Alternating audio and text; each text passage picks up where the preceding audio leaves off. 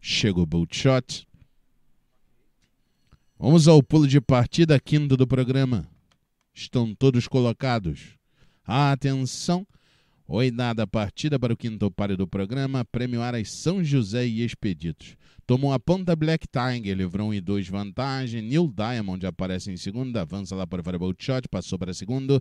Em quarto, Give, zigue-zague em quinta, em sexto, Rua Soleil, Lovely Wells em sétimo e oitavo, Capri Cruz. Vamos descer na grande curva, Pantera Black Tiger, um curva inteiro lá por fora, Shot em segundo, Neil Diamond agarrado em terceiro. O Give em quarto, em quinto, zigue-zague em sexto, Rua Soleil, Lovely Wells, a branquinha aparece em sétimo. Em oitavo, Capri Cruz. Vão se aproximando da curva de chegada na ponta número 5, Black Tiger. Lá por fora o Bolt Shot tenta avançar e por dentro vai atuando o Neil Diamond muito próximo e o Zig Zag botou a cara. Contorna a curva de chegada e entram pela cadeira. O Black Tiger é o ponteiro, mantém meio corpo de vantagem, avança Bolt Shot por fora. Cruzaram as setas 400 do vencedor na ponta lá por dentro o Black Tiger e a Love Wells lá pelos paus com boa ação. Cruzaram a seta dos 200 do vencedor na ponta Black Tiger. Cá por fora vai avançando o Zig Zag com o Neil Diamond e a branquinha cá por fora, Lovely Wells, abriu-se um leque, os lá por, lá por fora vai dominando o competidor. Zigue-zague, avança New Diamond e avança Lovely Wells, Lovely Wells carrega por fora, vem tentar a primeira, cruza a faixa final,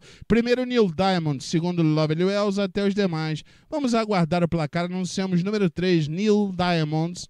Vários